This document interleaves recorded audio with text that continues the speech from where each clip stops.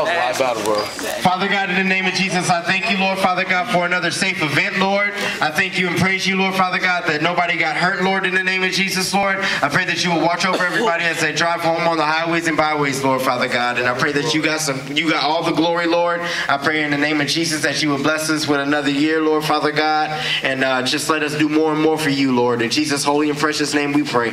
Amen. Amen. Thank you, thank you, thank you. If you're uh, supposed to be tear down,